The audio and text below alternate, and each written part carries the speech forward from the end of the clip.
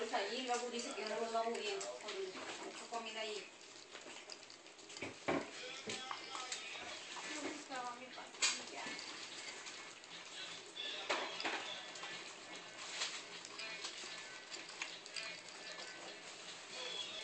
Oh, pero...